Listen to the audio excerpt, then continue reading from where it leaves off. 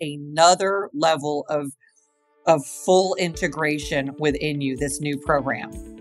Once you share it you now put the icing on the cake and now you have become someone who not only knows how to receive wealth but you